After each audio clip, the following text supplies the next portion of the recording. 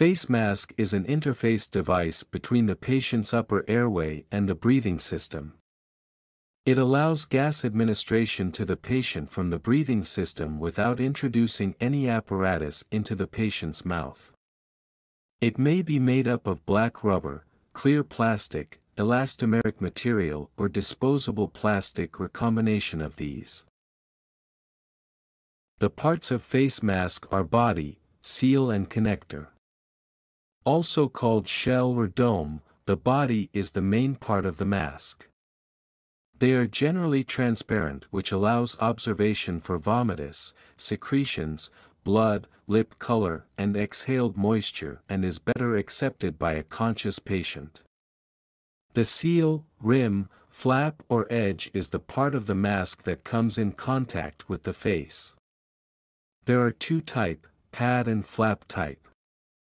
Pad or cushion type seal inflated with air or filled with a material that will conform to the face when pressure is applied. Flap type seal is a flexible extension of the body that conforms to the contour of the face. It is pressed onto the face to create a seal. Connector is present at the opposite side from the seal. It is also called orifice, collar or mount. It has a thickened fitting with a 22 mm internal diameter. A ring with hooks may be placed around the connector to allow a mask strap to be attached. Face mask can either be grouped as anatomical mask, Ambu transparent mask and Rendell-Baker-Soucek mask. Anatomical masks can either be made of black rubber, latex or plastic. The shape of the anatomical mask conforms to the contour of the face and has a padded seal. Of the many types of face masks available, the anatomical face mask is most commonly used for anesthesia. The seal can get deflated with overuse with time and the proper seal is not achieved. Also called the Connell mask, the black rubber mask is made of rubber that can be widened or narrowed to fit the face. It is available in sizes 0 to 5.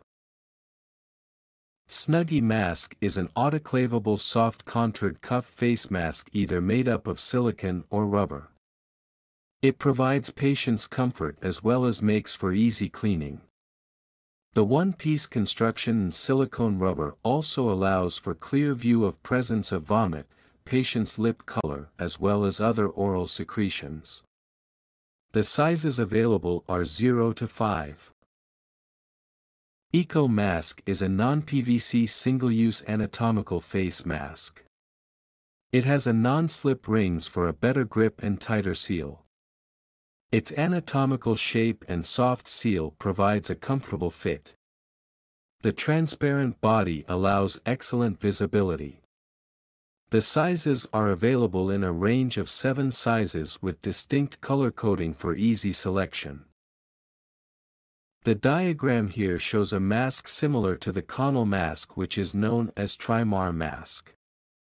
It was designed with shallower body to lessen the dead space.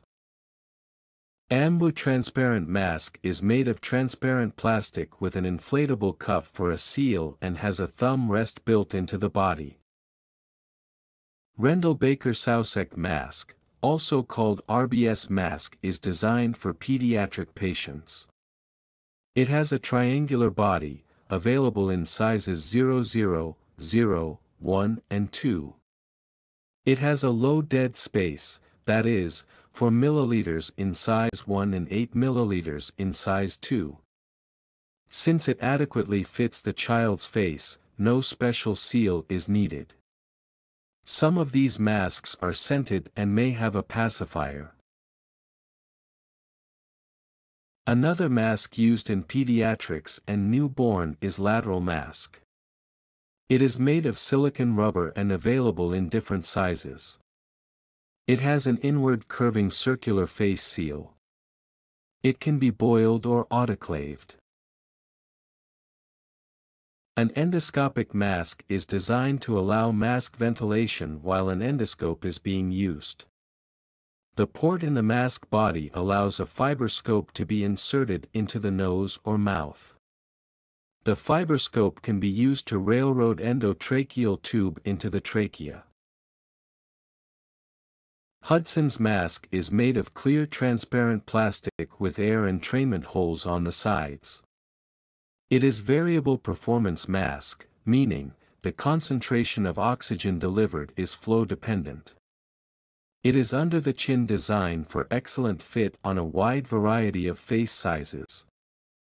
Its adjustable nose clip assures comfortable fit and transparent build allows visualization for patient assessment. It can also be attached to the reservoir bag to enhance the delivery of higher oxygen concentration. The oxygen concentration delivered at various flow rate is given here. This mask is categorized further into simple, partial and non-rebreather mask and will be discussed in depth in the oxygen delivery devices section playlist. Smallest mask that fits well and prevents leak is the most desirable as it will cause the least increase in dead space. The smaller mask is also easier to hold and less likely to result in pressure on the eyes. Two most accepted method of holding mask are one-hand method or both hands method.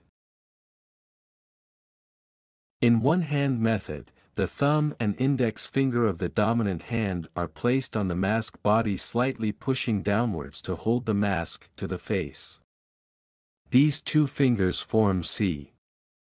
The remaining three fingers are placed on the bony part of the mandible to pull the mandible up into the mask like a letter E.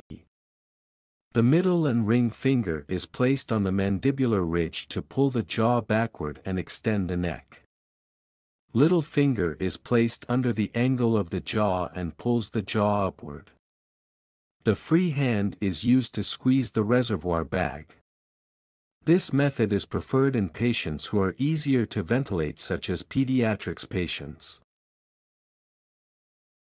In the two-hand method, we need assistance to squeeze the bag or need the ventilator to provide positive pressure ventilation. It is usually done in patients who are thought to have difficulty in mask ventilation like obese patient.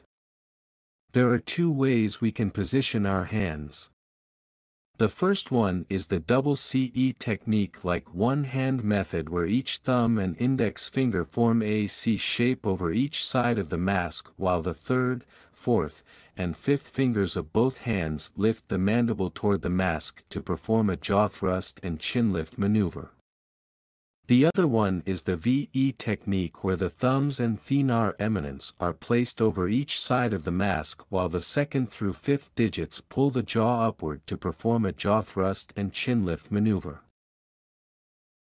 Face mask use though rare does have some complications associated with them. These are skin-related problems like dermatitis in allergic patients. If rubber is a component of a face mask, a serious reaction can occur in the patient with latex allergy. Pressure necrosis can occur under the face mask if too much pressure is applied for prolonged duration. Forward jaw displacement may result in stretching mandibular nerve and pressure on the supraorbital or supratrochlear nerve can damage them. Cramped hands and tired muscles can limit the user's ability to perform other tasks especially in obese and patient with larger head. Corneal abrasion may be caused by a face mask inadvertently placed on an open eye. Pressure on the medial angles of the eyes and supraorbital margins may result in eyelid edema and chemosis of the conjunctiva.